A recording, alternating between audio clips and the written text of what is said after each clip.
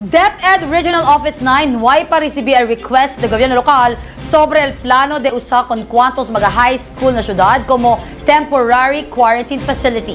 Esa cosa ya confirma mismo el DepEd 9 Regional Director Dr. Isabelita Bores na entrevista este miércoles.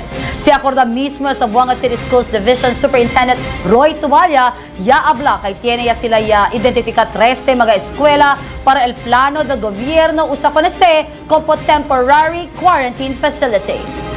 Imidya mo! hindi ko pa yan natanggap but considering kung kumpleto yung papel ng mga kasi may mga requirements ang DILP or IETF tax po.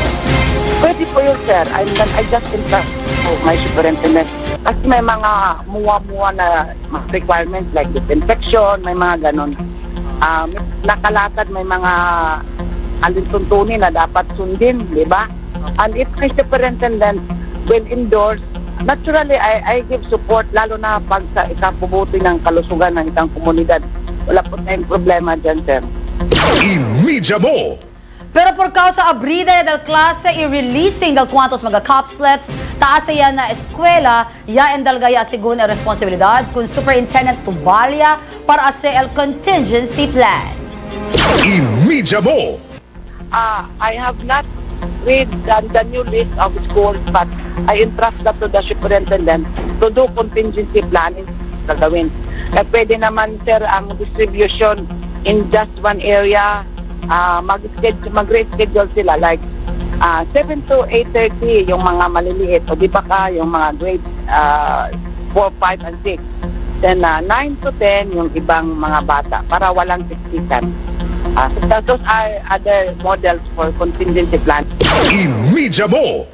Ya dalia también na según si Dr. Boris El Poder para firma el Assistant Regional Director que base aquí na syudad, si en tal caso necesita ya usa con el 13 mga high schools. Imidya mo! Oh, actually, um, uh, sa, I, I said, kasi andyan si Assistant Regional Director ko sa Buanga City, I told him also para madali, he can sign it for me.